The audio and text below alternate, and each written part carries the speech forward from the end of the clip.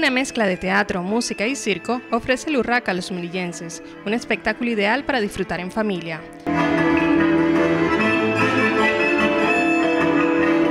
Este sábado fue la primera de las dos funciones que trae la compañía a la ciudad.